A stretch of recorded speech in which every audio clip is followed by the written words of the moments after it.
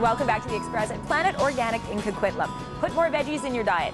Check. Exercise more. Check. We know the new year is a time for goal setting and for meeting those goals, but don't forget to balance it out with a little bit of fun. On today's road trip segment, we're hopping the ferry for Victoria to tour the Maritime Museum. Travel along with us on the Quality Assured Collision Road Trip as we explore the many marvelous attractions and activities of beautiful British Columbia. I've been working and living in Victoria for the past two years and I'm still exploring the region. So whenever somebody says, go check out this museum or this show or this area, I have to check it out. So for my road trip, I'm going to step back in time and take a look at Victoria's history and past. I'm a fan of artifacts and just old stuff that has a story. So museums are for me. One museum that's been around for more than 50 years in Victoria is the Maritime Museum of British Columbia. But it didn't start off as a museum. Well, it had a long history beginning being a provincial courthouse. This was the first purpose-built courthouse in British Columbia in 1889. This courtroom is still used for tax court, concerts, and gatherings. It briefly became Victoria City Hall in the 1960s, but by 1965 it became the official home of the Maritime Museum. Virtually everything is from BC. There are a few things from elsewhere in the world that have been brought here to help tell the story. The first thing is that it represents uh, the British Columbia. It represents the West Coast.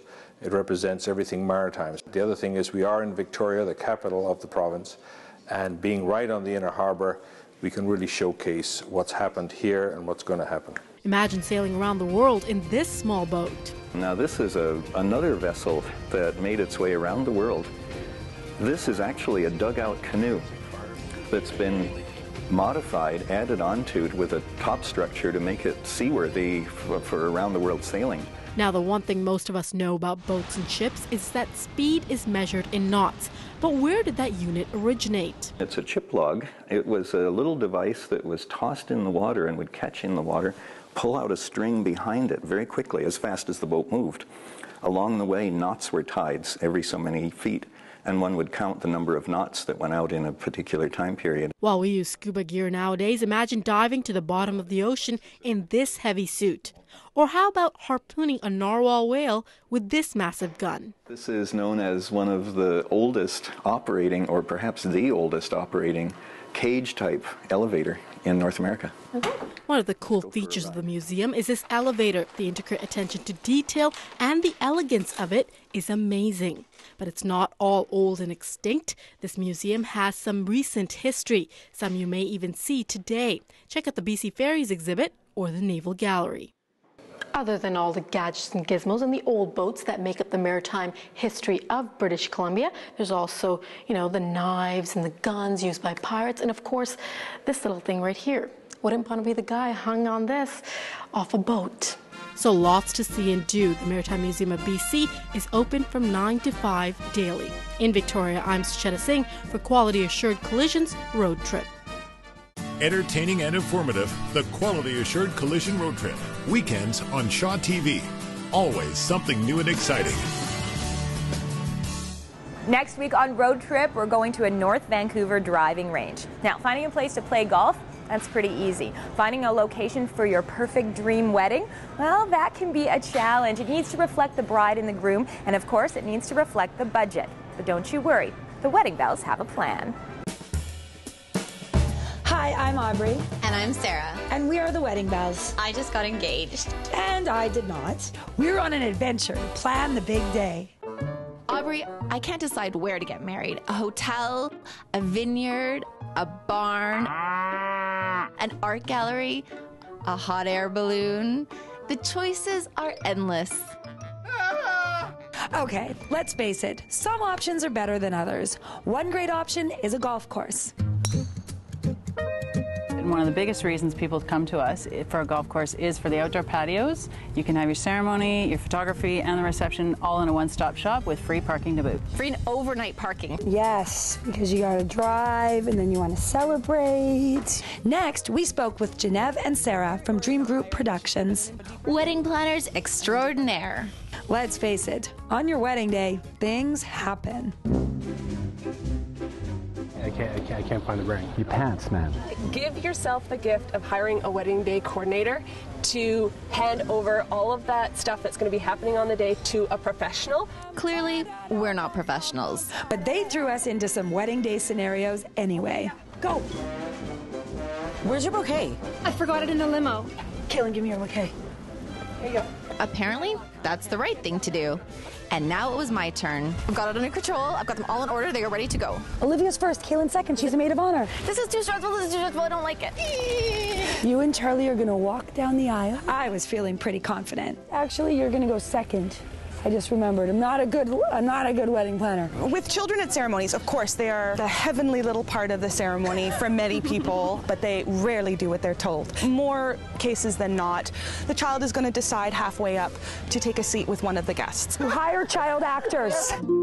And then it was time for the magic to begin. The path of life is so narrow that in order for two people to walk down it together, they must become one. Really like that quote. I do. I do. We weren't off the hook yet. You send a groomsman out to go and pick up the wedding cake in the morning. They don't really know what they're looking for. Good news, we got the cake. Bad news, it says happy birthday, Pedro. Sarah has an idea. I have a magic idea. We will fix this.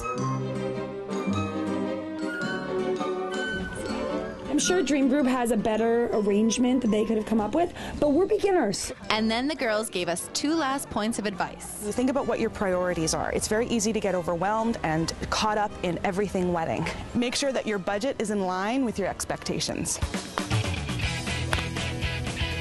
While taking a ride, Sarah thought about her wedding priorities, and I remembered mine. Okay, one of the great things about getting married at a golf course is there are a lot of men around for your single friends. That's why I'm doing it for you.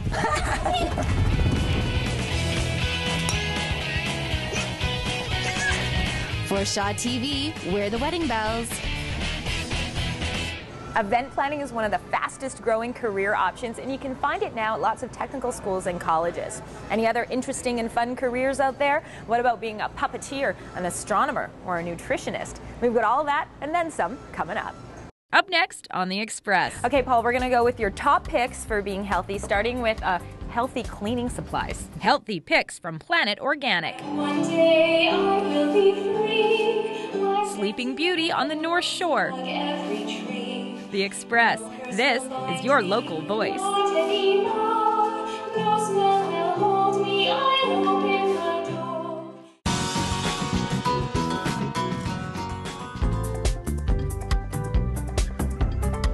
Welcome back to the Express at Planet Organic in Port Coquitlam. Okay, Paul, we're going to go with your top picks for being healthy, starting with uh, healthy cleaning supplies.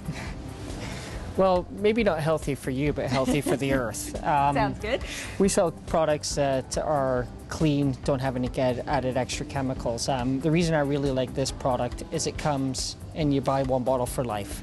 It comes with an individual refill, and after that, you just buy the refills. You plug it in, fill it up with water, give it a shake. There's your next one. It's an all-purpose cleaner, floor cleaner, also a bathroom cleaner. Uh, one of my favorite products because I don't have to put any more plastic into the earth. So it's environmentally friendly and it's economical too, hey? Absolutely. One bottle for life. I love it. This stuff looks good enough to eat, but I'm not supposed to eat it, am I? No. now, why do you love this product so much? Um, I love it for a couple of reasons. One, because it's all natural and good for you. And what a lot of people forget is your biggest organ on your body is your skin. So it's one thing to put good things on your inside, but you also have to think about what you're putting on your body. It's one of the best selling products out there for body care. The soap lasts much longer, and of course, the best thing about it is it smells great. it does. This is lemongrass. Yeah. And I can really smell the lemongrass. So no chemicals or anything in it, Good. and most popular of all is the scent. You just got to find the one that you like the best. This one smells like oranges, but it says uh, It's calendula. calendula. Okay, calendula. All right. Hail to the kale. Now, why do you love this product so much? Well, one, it's full of antioxidants. It's very, very good for you. It's got lots of different vegetables in it. It tastes fantastic. This is probably one of our best selling items, especially in our deli. It's great for lunch, great for energy.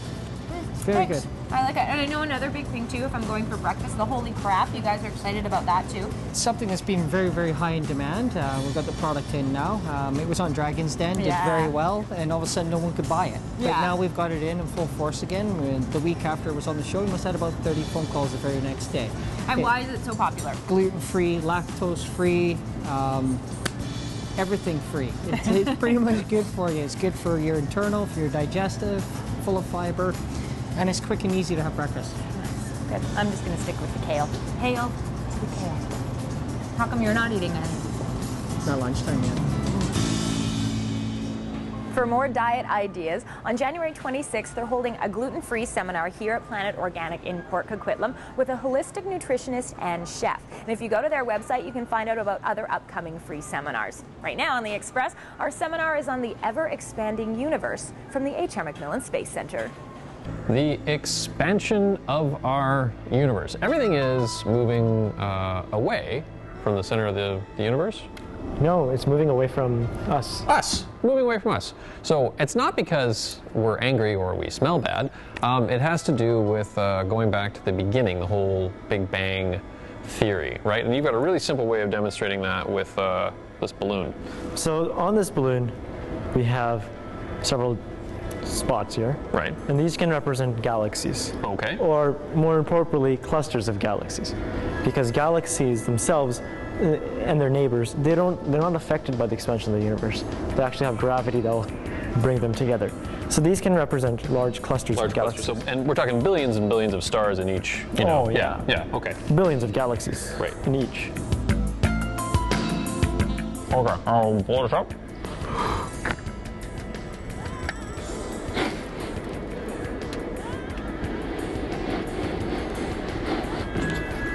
Working really well. Wow. So, apart from you feeling lightheaded, what just happened there? So you notice that all the space between the galaxy clusters here actually got larger and larger. But the, gal- the galaxies themselves. They never got larger. No. Because they're actually bound by gravity. So the distances between the further one got further away and faster and it expanded faster. Now, what's going to happen at the end of this whole thing? Once once this expands all the way, is it ever going to contract again? Well, recently, as 10 years ago, many astronomers thought that it would expand and then would come back into something called the Big Crunch, essentially the opposite of the Big Bang. Sounds tasty. Uh, not really. No. So now astronomers don't think that that will happen, and more likely it will be something called the Big Freeze, when everything will keep on expanding and expanding and expanding until the distances between these galax- galaxies will become so large that you won't actually see any more galaxies. Huh. Yeah, and uh, that will happen in uh, trillions and trillions and trillions of years from now. Will it make a, a farting noise like this? I don't think so. No. Oh well. Can't wish for everything. Cool. Well, that's a great way of explaining how the, the, the expansion is working and just using a, a simple a simple balloon. Thank you very much. Uh, for the Express from the H.R. MacMillan Space Center, I'm Cam Cronin. I'm Raminder Samra. And hopefully we've expanded your brain a little bit today as well.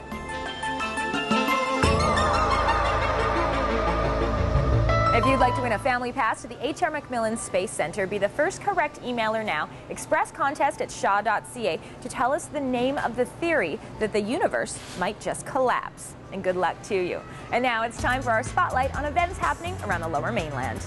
Calling all game industry professionals, students, and anyone really passionate about games. Get inspired and connect with leading designers and producers who have created the world's most successful games.